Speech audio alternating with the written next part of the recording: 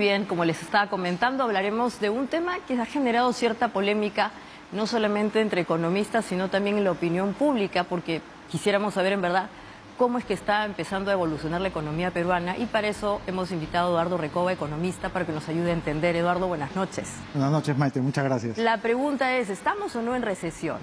Estamos en recesión. Eh, expliquemos un poco qué cosa es la recesión para los que nos están viendo, porque hasta en eso ya hay hoy día debate sobre qué cosa es recesión. Sí, la recesión es eh, la desaceleración de una economía. Es cuando la economía deja de, eh, digamos, funcionar u operar a una potencialidad cercana a su techo y más bien va comenzando a acercarse al piso.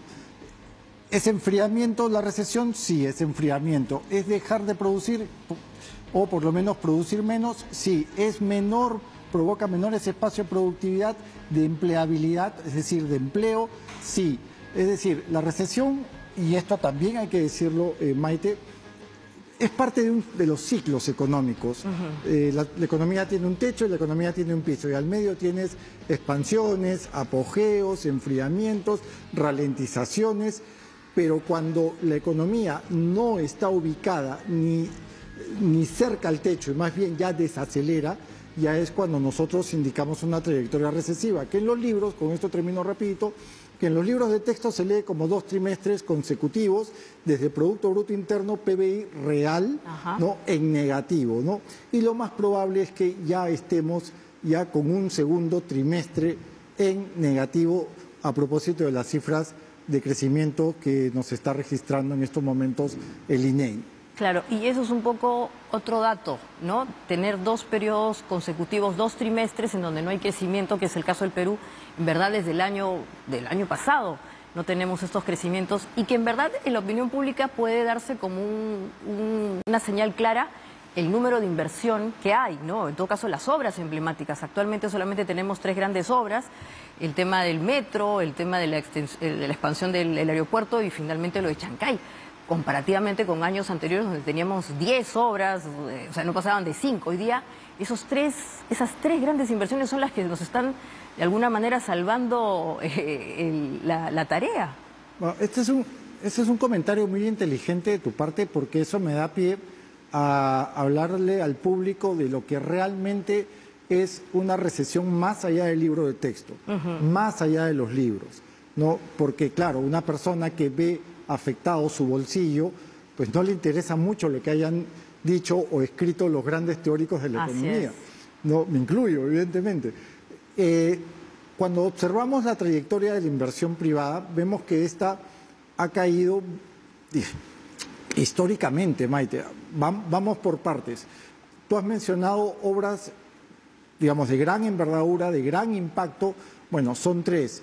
Hasta hace unos años podíamos gozar de una cartera de cinco o seis grandes proyectos, y que incluyen evidentemente minería. y de momento ya que ya ve con la etapa digital, por ejemplo, ya terminó, Y, no por, ahí las bambas nos puede defender un poquito el resto del año, pero no vemos mayor impulso, mayor avance, no solamente desde la inversión privada, creo que lo hablamos la vez pasada, no hay un potente gasto desde el Estado. No hay un potente eh, rango de inversión pública y eso provoca que también la inversión privada no se anime, con lo cual tenemos, por ejemplo, un dato muy cortito donde ubicas al Producto Bruto Interno, construcción, que está vinculado a cemento, que está vinculado a demanda de vivienda, a consumo, a encadenamientos como eh, acabados, etcétera, que ya está cayendo al primer semestre casi en dos dígitos es decir, dos dígitos, 9.84% en negativo. Entonces, tenemos un problema recesivo, por supuesto que sí, más allá de los libros, más allá de definiciones técnicas o de manual o de texto, tenemos una recesión que la vemos reflejada sobre todo, desde luego, en nuestros bolsillos. No, no y, la, y, la, y, la, inversión privada es fundamental en este caso porque hay que decir las cosas como son. Una economía se mueve básicamente por ese nivel de mercado, la inversión, cuánto dinero está viniendo para justamente levantar estas obras emblemáticas. El Perú no es pues un país en donde la administración pública sea el primer, digamos, este espacio o motor. La gente tampoco tiene grandes ahorros, entonces en verdad es un poco complicado manejar esta situación si no hay inversión privada. Y adicionalmente, para los que nos están viendo, es importante explicar que todo este contexto tan complejo que estamos viviendo, político, social, ha afectado mucho esta situación. Sí, porque, a ver, eh, se han juntado los planetas, pero de mala forma. Desde diciembre estamos colgados a, bloqueos de carreteras, a bloqueo de corredores mineros, lo cual pues evidentemente no ha permitido mayor expansión, expansión fiscal que es otra prueba y demostración de que estamos en recesión. Los ingresos fiscales están, eh, digamos, colgados a una dimensión muy austera, por un lado, y por otro lado tenemos eh, fenómenos climáticos que efectivamente han escapado de nuestra, digamos, del manejo del Ejecutivo, del manejo de los gobiernos regionales y menos aún de los gobiernos locales. Sin embargo, hay que decir también que en un contexto climático, Yacu, pre-niño y el niño que se viene en cinco meses, es una gran oportunidad para generar espacios de gasto público que permitan, a su vez, ¿no? reanimar un, por lo menos en un punto porcentual del Producto Bruto Interno y salir del estancamiento que esperemos se dé hacia el último cuatrimestre del año. ¿no? Que es más o menos la proyección que ha dado el gobierno. Ahora, eh, ¿a ti te parece realista esta proyección?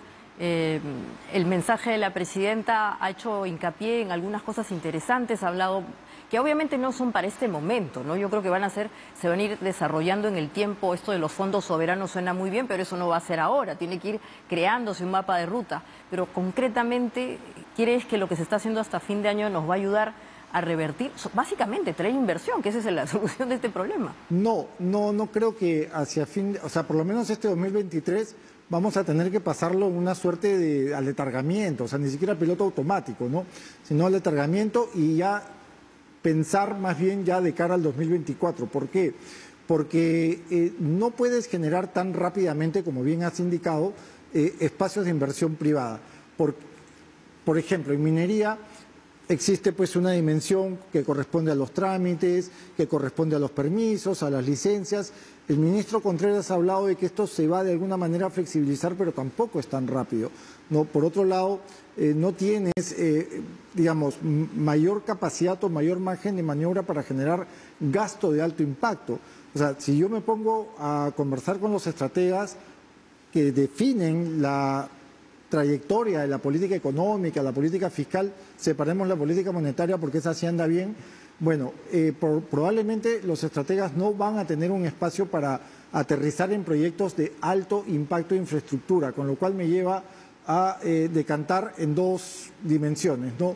Lo que hay que hacer ahorita a corto plazo y lo que hay que hacer, eh, digamos, ya más de largo plazo, como tú mencionabas. A corto plazo es procurar un gasto que si bien es cierto no va a ser de alta gama o de alto impacto, y ahí están los expertos, las expertas que, en, gestión pública de gasto o gestión de presupuestos que me pueden dar la razón, ¿no? Eh, por lo menos acercarnos un poco no sé, si no podemos hacer un hospital gama 2 o gama 3, tratemos de hacer pues un hospital gama 1 o tratemos de generar un proyecto, no tanto un programa, sino un proyecto muy consensuado, muy potente en postas, en postas médicas. Eh, quizás no podamos generar espacios para eh, construir o pavimentar nuevas carreteras, pero por lo menos limpiemos, mantengamos las que están, lo mismo infraestructura agraria, lo mismo infraestructura educativa con lo cual creo que podríamos ya cerrar el 2023 con cierto margen que nos pueda elevar un punto porcentual, un puntito porcentual que para que los televidentes nos entiendan es un granito que le podemos dar al Producto Bruto Interno que se va a leer quizás en beneficio de los bolsillos, sobre todo en los hogares de ingresos bajos a medios. Vamos a pasar el año raspando. vamos, a pasar, el... no van a jalar. Yo creo que no, no tanto como un 10.5, pero probablemente sea un 12. ¿no? 12, bueno, está bien, por ahí, por ahí. Bueno, para estar jalados todo el, resto del año, claro, con un 12, creo que está bien, ¿no? Claro, ahora, esta situación es inevitable aparejarla con el tema político, porque en el Perú siempre se pensaba que la economía iba por una cuerda y el tema político iba por otra, pero hoy día creo que nadie duda que evidentemente hay una relación directa.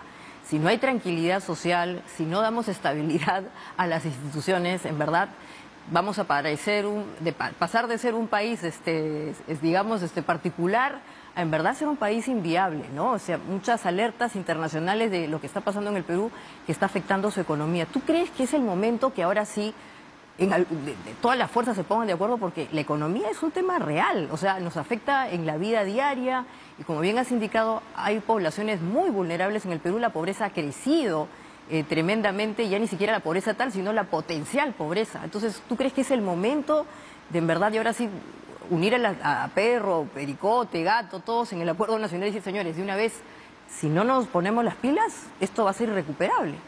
A ver, eh, primero un paréntesis previo, ¿no? Has tocado un punto nuevamente muy inteligente, te agradezco porque estamos hablando de pobreza, ¿no? Mm. Eh, la pobreza actualmente, ya con datos de, del INE y de la encuesta nacional de hogares, de hogares ya está en 27,5 de la población. Eh, con el golpe fiscal, con el bajo ingreso eh, gasto de gobierno que puede, puede haber sido, eh, digamos, alto, entre comillas, pero la verdad es que es igual. El gasto de gobierno, por lo menos a, datos del 2 de agosto, estaba viendo datos de, mi colega Luis Alberto Arias, eh, es igualito, el gasto es igualito al, al del año pasado, o sea, no hemos avanzado nada. O sea, es como que un atleta de alto rendimiento que hacía salto largo, pues saltaba 7 metros, el año pasado, este año está saltando 6,98 metros, ¿no? Mm. Entonces, siguen lo mismo, ¿no? Y en cambio, ya a nivel eh, más eh, gobiernos eh, central, gobiernos regionales y locales, este gasto ha bajado.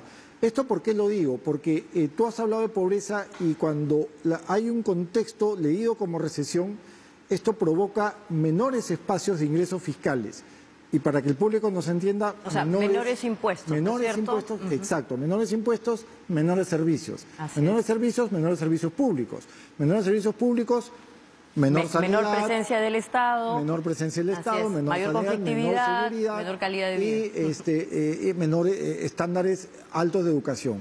Bien, ahora tu pregunta a propósito de la matriz política. Efectivamente, no estamos como hace 10 años, 15, 20 años, donde sí gozábamos de cierta interdependencia a propósito de la matriz política y económica. Ya, esos años han pasado. Ahora se cruzan y si tú me preguntas a mí, eh, como economista, te puedo responder como economista, pero también te puedo responder como ciudadano. Si tú me preguntas que si se pueden lograr consensos políticos ante esta situación con las instituciones que tenemos, por ejemplo, el legislativo, muy difícil. Yo no lo veo, no, no, no veo que se logre. Mira, Maite, más fácil es lograr un consenso económico, juntar a los banqueros, a los mineros, con los gremios, con los sindicatos. Eso es mucho más fácil y más eh, maleable que juntar pues a, las diversas fuerzas políticas que de por sí ni siquiera son fuerzas, no son grupos de interés. Eso es lo más dramático. Y, te diría que hasta mafias, si no me da miedo decirlo. Es lo más dramático. Muchas gracias, Eduardo. Ahora te agradezco otra vez a ti. No, gracias. Y bueno, de todas maneras estos espacios sirven para eso, para llamar la atención y obviamente a quien le toque que en verdad este, ayude a que esta situación se tranquilice, porque ahora sí es claro que lo político y lo económico han entrado en un proceso de completa unión y si no funciona uno, no va a funcionar lo otro definitivamente. Claro que sí. Muchas gracias, Maite. Bueno, y después de esta charla, que usted ya creo que ahora sí entendió cuál es el problema con la recesión, vamos a volver con otro tema que ha generado mucha polémica y sobre todo indignación, y es el tema del tratamiento de menores de edad en la televisión. ¿Cuáles son las normas que están vinculadas a esto? Y obviamente, ¿por qué hay que empezar a, usar estas normas con mayor claridad para no justamente ir en su contra? ¿no? Esto es diálogo abierto, volvemos.